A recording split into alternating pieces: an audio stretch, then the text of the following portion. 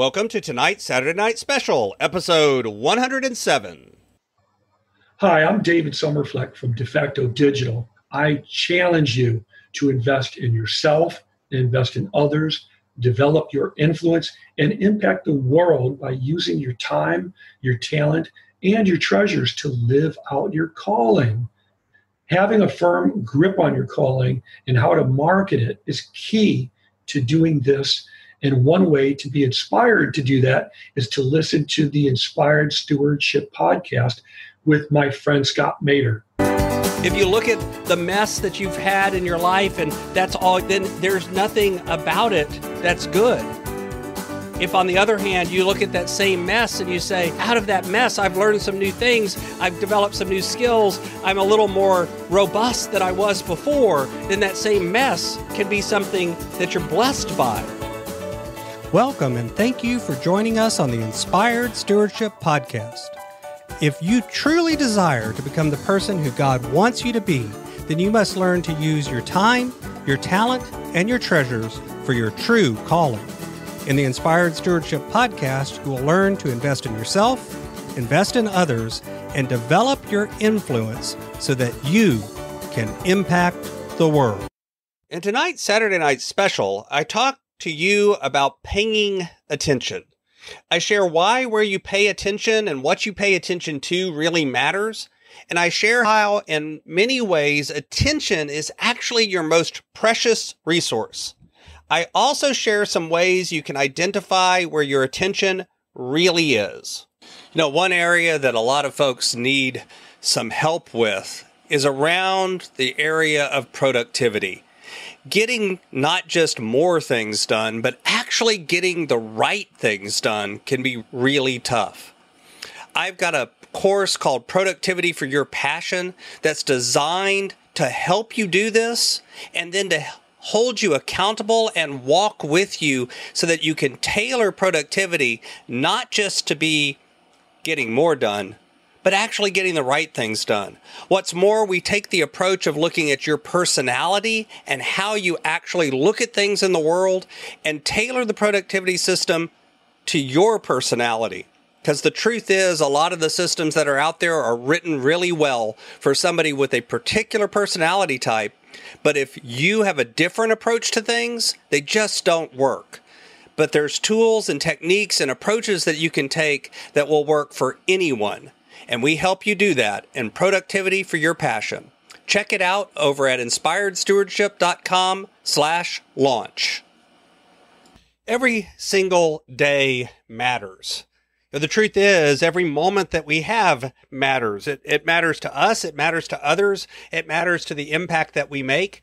And as I go through the world, as I go through life, like this particular week that I'm recording this was a really rough week. I had a lot of challenging situations come up. I've had some friends that have gotten very sick. I, we had a little scare with me and getting sick, and I actually got pneumonia, but I'm recovering well.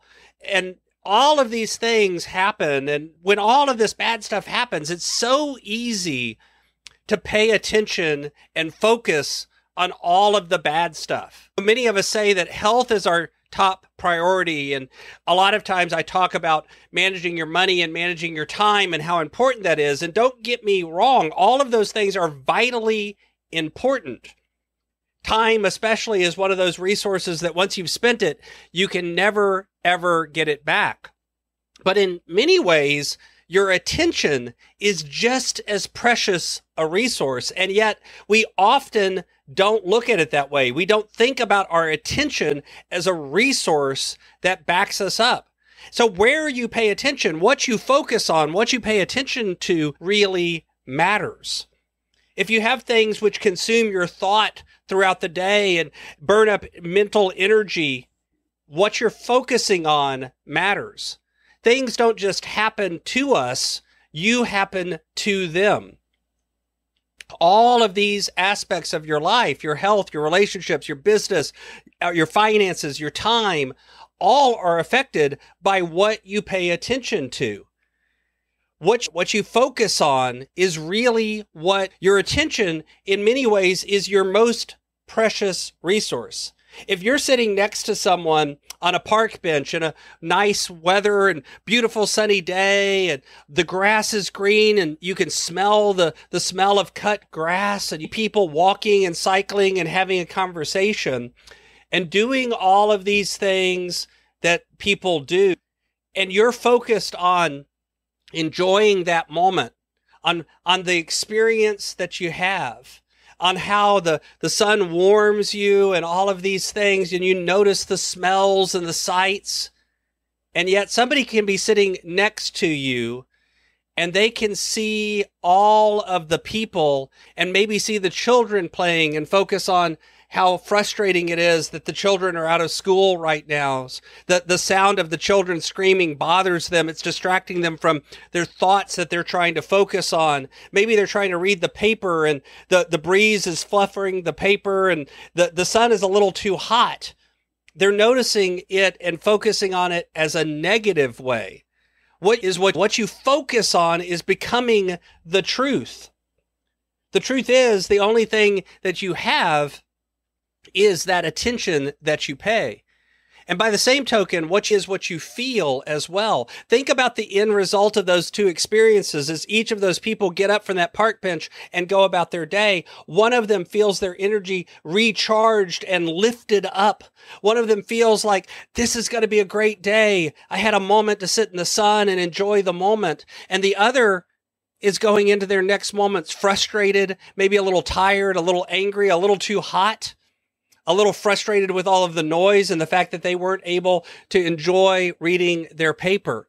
And the next moment that each of them has is going to be different. Because you see, the third thing is what is what you get. If you're focused on the negative, then you're going to notice more negative. If you're focused on the positive, then you're going to see more positive. If you look at the mess that you've had in your life and that's all, then there's nothing about it that's good. If on the other hand, you look at that same mess and you say, out of that mess, I've learned some new things. I've developed some new skills. I'm a little more robust than I was before. Then that same mess can be something that you're blessed by. The truth is, you can identify where your attention is really going. You can actually focus in and think about what am I paying attention to by asking yourself, what are those thoughts that come through my mind each and every day? Am I able to look at something that's bad or something that's negative or something that's challenging and frame it in a way that's positive? Am I able to have gratitude each and every day? Am I able to sit down and identify three or four things that I'm thankful for each and every day? Am I able to capture those moments and focus my attention on the positive? And what's funny is it's a feedback loop. If you find yourself doing that, then it's easier to do it because of the way we just talked about. You see what you want, and then what you want to see becomes the truth. That's how attention is your most precious resource. Thanks for listening. Thanks so much for listening to the Inspired Stewardship Podcast. As a subscriber and listener, we challenge you to not just sit back and passively listen, but act on what you've heard and find a way to live your calling. If you enjoyed this episode, please do us a favor go over to inspiredstewardship.com slash iTunes rate, all one word, iTunes rate. It'll take you through how to leave a rating and review and how to make sure you're subscribed to the podcast so that you can get every episode as it comes out in your feed. Until next time, invest your time, your talent, and your treasures. Develop your influence and impact the world.